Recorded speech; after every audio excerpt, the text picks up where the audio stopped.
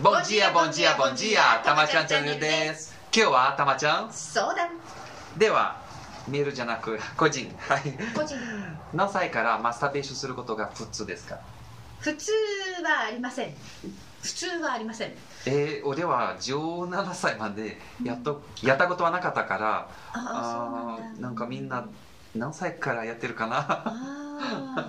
あのしたことのない人は結婚したして後もしたことのないっていう人もいらっしゃいますし。えじゃあ大人じゃん。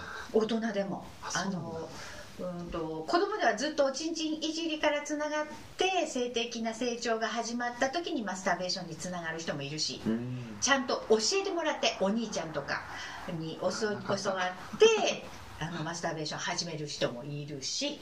えー、目安は声変わりが始まったら、はい。ちゃんと性教育を受けてそこでマスターベーションの仕方も教わろう。えー、やり方もあるんだ。あります。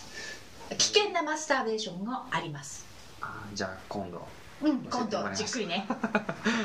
えー、週何回ぐらいマスターベーションすることが普通？